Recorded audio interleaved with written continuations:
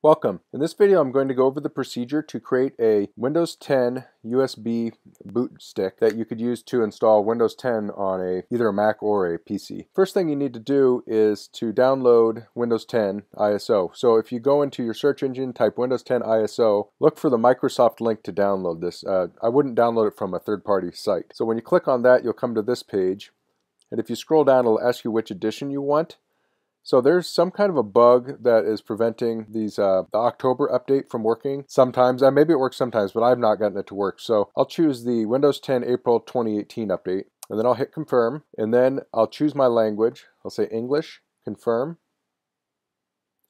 and this will give me two options here. I want the 64-bit download, so you would click that, and I've already done that, so down here in my downloads I have the uh, install ISO. It's just under 5 gigabytes. So next you need to, to open the Boot Camp Assistant. So you can hold down Command and hit space, and that'll bring up Spotlight Search, and you can type B-O-O-T, and you should see one of the first options here, the Boot Camp Assistant. So open that, then hit Continue,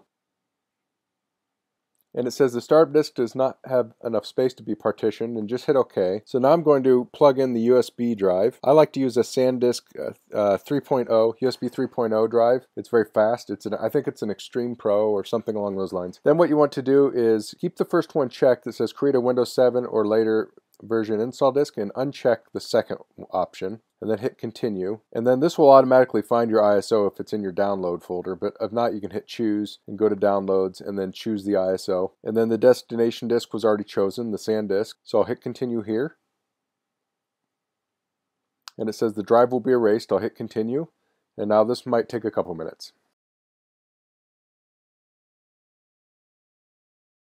Okay, so this says Boot Camp Assistant is trying to unlock the startup disk preferences and it's asking for my password.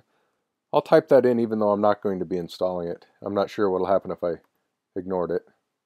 Okay, so it's finished. I'll type quit.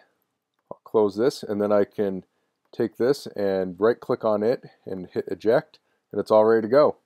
So that was the procedure to create a bootable USB uh, thumb drive to install Windows 10. If you have any questions, please leave them in the comments. If you like this video, please click like. If you haven't subscribed my channel, I would appreciate if you could do that. And thanks for watching. Until next time, goodbye.